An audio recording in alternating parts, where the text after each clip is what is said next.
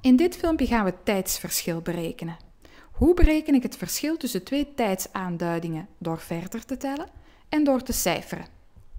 We beginnen met verder tellen. Wat is het tijdsverschil tussen 4 uur 42 minuten 37 seconden en 4 uur 28 minuten? Ik begin met de kortste tijd. Daar tel ik al 14 minuten bij, dan kom ik aan 4 uur 42 minuten.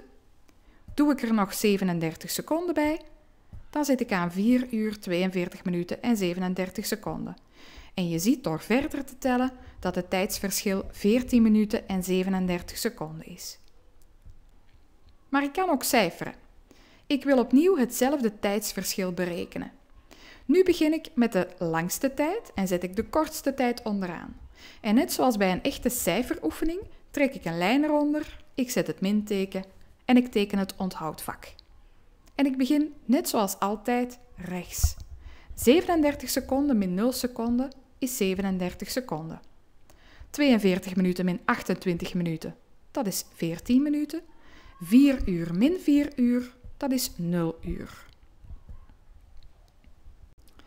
Wat is het tijdsverschil tussen 3 uur 15 minuten 25 seconden en 2 uur 58 minuten? Ik zet opnieuw de langste tijd bovenaan en de kortste tijd onderaan. En ik begin rechts. 25 seconden min 0 seconden is 25 seconden. 15 minuten min 58 minuten, dat gaat niet. Ik moet dus gaan lenen en ik leen 1 uurtje. 1 uurtje, dat is 60 minuten. Nu heb ik dus geen 15 minuten meer, maar ik heb 75 minuten. En 75 min 58, dat is 17 minuten. Bij de uren heb ik nu geen 3 uur meer, maar 2 uur.